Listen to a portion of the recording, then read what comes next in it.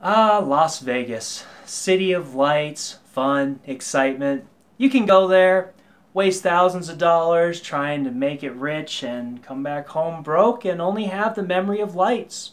Or you can get a new Kraken, have awesome lights with you all the time, and save hundreds of dollars.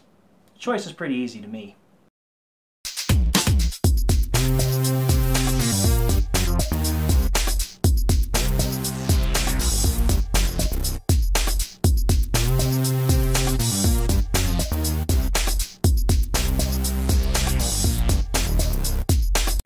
Hey guys, Hardware Hound here. I am back with a review of the NZXT Kraken X62 CPU cooler.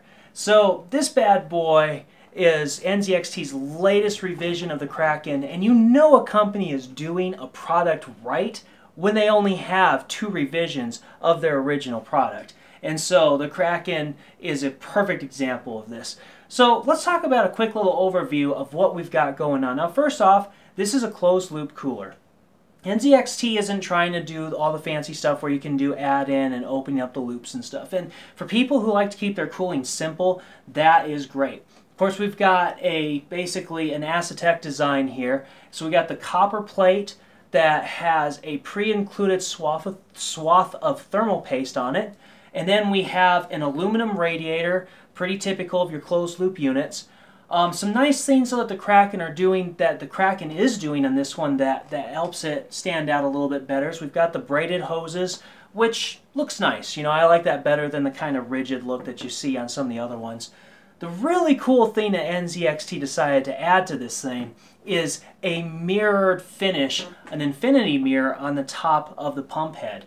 And so that thing lights up with full RGB glory and it looks fantastic.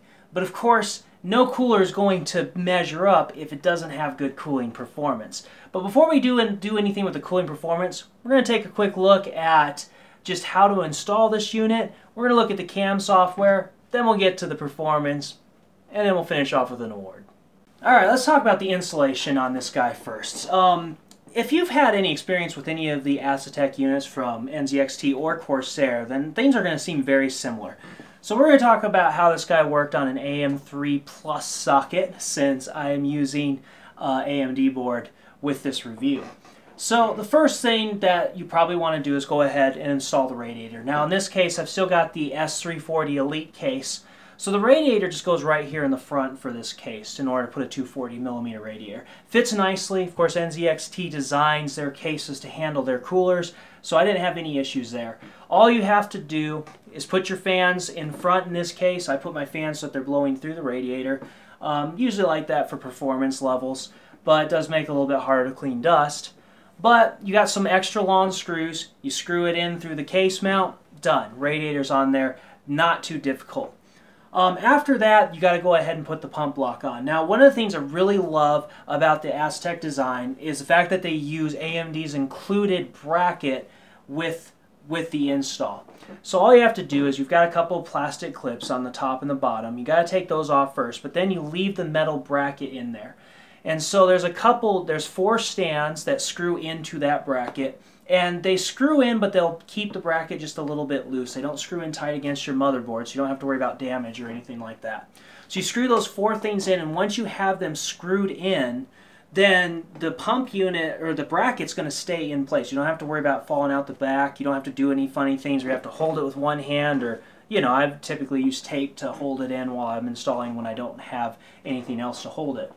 So once you do that, then all you have to do is you take the pump block, and there's going to be the Intel bracket already already uh, mounted onto that.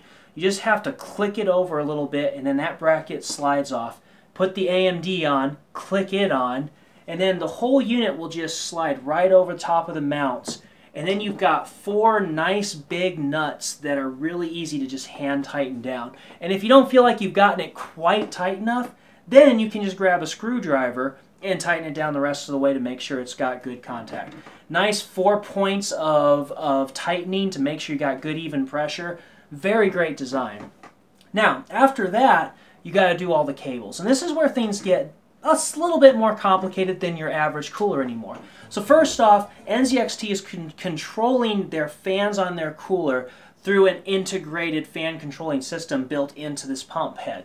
So with that in mind, you got a few more connections to make. So one of the things I liked about it is the way they designed the pump. You can have everything unplugged off of it when you're installing it. And I think that makes things a little easier not having those cables dangling, dangling around. So all you have to do is you've got one connector that is just a USB connector and it plugs into kind of kind of off to the side on the top there. Take that cable, run it around, and it'll plug into one of your USB 2.0 headers on the motherboard. That's so that the drivers and cam can read and understand that you got this pump plugged in. The other connector is the connector for the power that goes to the pump, to the SATA, to the fans, and everything. And it's a nice long kind of rectangular connector, and it just pushes right into the top. Now, I found it wasn't too hard to squeeze that guy in there after I had the pump installed, but it can be a little difficult. So if you want to save yourself a little hassle and have better view of it, then you might want to plug that thing in before you cinch the pump down, but that's kind of a preference thing. I prefer to cinch the pump down first. Once you plug that bad boy down, you'll have a SATA connector that you need to connect to one of your SATA connectors off of your power supply. You're going to have a, quite a few fan slots, but if you're only using the included fans, you only need two of them. Plug your fans into there, and then there is one little three pin fan connector that helps monitor the, the, speed of the pump. And if you have a motherboard that's really picky about not having your CPU fan plugged in, it'll take away those errors for you and you don't have to try to find it in the BIOS and say, hey, ignore this. I know that my pump and my cooling is working on my CPU. Once you got all that stuff set up, then you can install the cam drivers and NZXT pretty much takes care of it self the rest of the way. So all in all, install process is excellent. I love it. Um, they've really made these things very simple. And that is one of the biggest things that make these all-in-one closed-loop coolers great, is that they are simple. They're very easy to dive into if you're scared about liquid and you're scared about the install process. They're so easy, a caveman can do it. No offense, caveman. Alright, so you got this baby installed, you got everything rolling, now you've got to use software to control it. Unlike other systems where they might use your fan headers and you can use your BIOS controls, this one you got to use CAM to control the speed of the pump and the speed of the fans, unless you of course plug the fans into your motherboard. But you probably aren't going to want to do that if you've got this unit. Now, some people are a little hesitant about third-party software, and I am one of those people. In fact, a lot of times software from manufacturers are buggy at best. In fact, um, probably one of the worst one of the worst manufacturers I've had in times past is Asus. Man, their software can just be so funky at times. Um, but, you know, regardless of how Asus is now, um, the important thing is how CAM does. So NZXT is using CAM. Now, CAM is, is, is pretty good software overall, but when I first dove into CAM, when they were first releasing it, I noticed it had a few weird issues. There was times where I had trouble with the upgrades. Um, there was a couple of times where it just seemed like it had trouble finding my hardware. And some of that I think is a combination of AMD chipsets being old and not as well supported as some of the newer ones.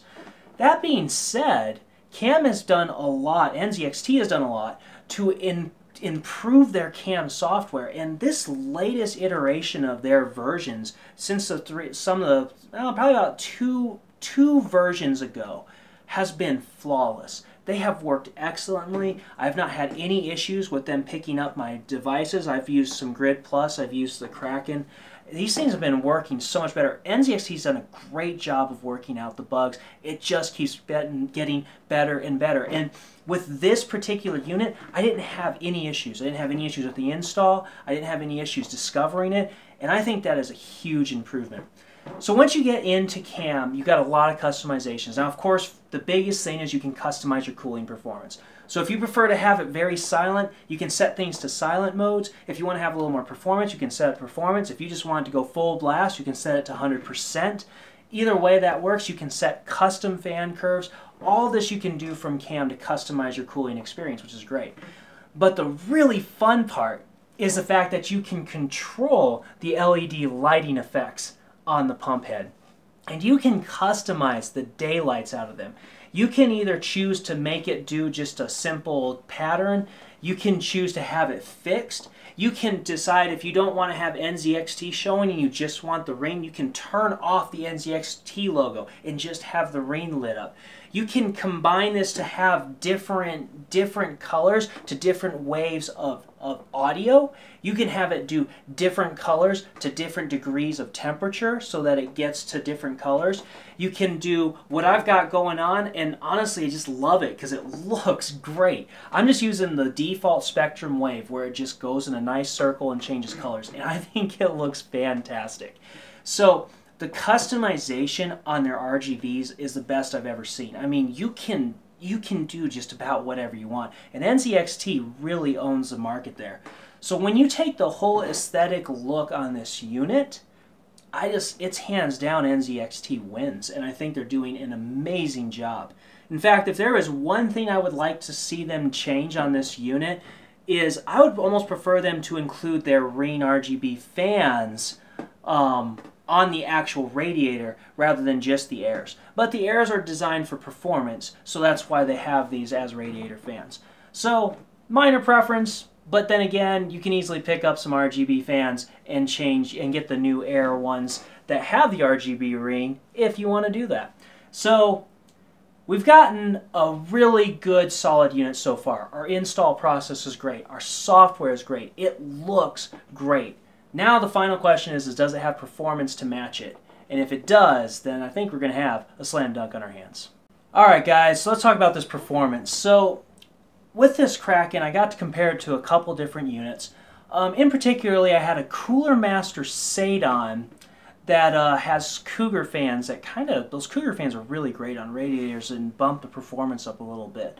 But it's only 240 millimeter rad versus this guy having a 280 millimeter rad.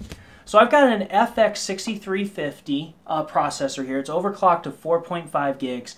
In my experience, I've seen in, no difference in stock to overclock performance that's worth mentioning. So I'm only going to measure overclocked performance and idle temps. Idle temps seem to be more reliant on the motherboards themselves and their power saving features than they do the chip. So overclocked, full blast, I have an Asus 970 Pro Gaming Aura motherboard to power this chip. So with a 1.45 V-core, 4.5 gigahertz overclock on a 6350, the Cooler Master has a 46.5 degree key, uh, uh, core temperature on that, which is really good considering that's a fairly decent overclock on there.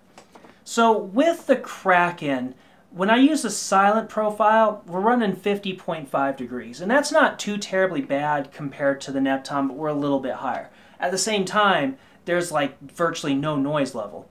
Once we get to the performance feature, we're at 49.2 degrees. And the performance is kind of basing it, but you can either base it off of the coolant temperature, or you can use something like your graphics card, or you can use a CPU. I chose to use a CPU measurement.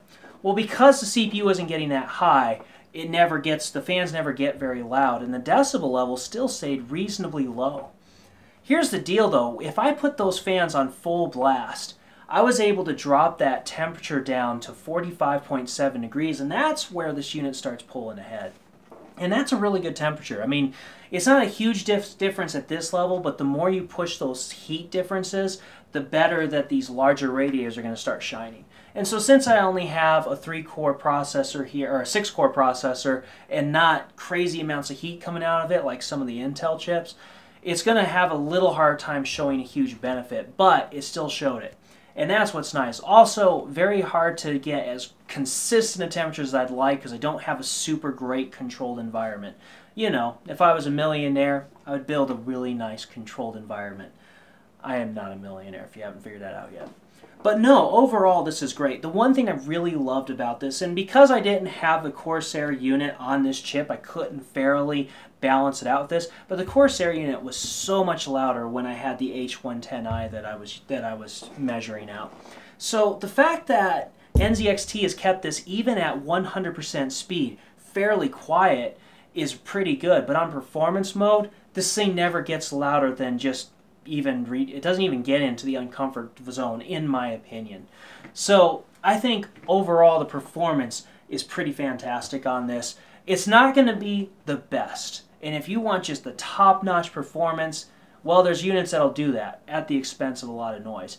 I'm kind of at a point too, though, where that extra noise I don't think is worth it for the amount of extra cooling you get. Because a lot of times when you're doing a simple ratio overclock, you're not going to get any higher than what you get with a unit like this. So having something that looks great and sounds great as well is to me what makes it a winner more than just who can get the absolute highest number. Let's go ahead and wrap up this review and give this guy an award. Overall, this unit, I there is nothing I can legitimately claim, complain about. I don't I could not find anything that I feel like is a problem. So with all that being said, we've got to look at the price of this thing. So I don't I haven't really seen a lot of availability on Newegg or Amazon yet. So the only place you can get this from is the NZXT website. And they're out of stock on the NZXT website, unfortunately. And the thing is, is for the X62 here, you're looking at $160. That's pretty high for any kind of liquid cooler. I mean, you can get a lot of your 280 millimeters for quite a bit cheaper than that now.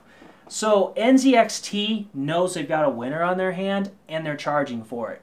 That being said, it's out of stock, so people obviously are, are wanting it, and I can't blame them.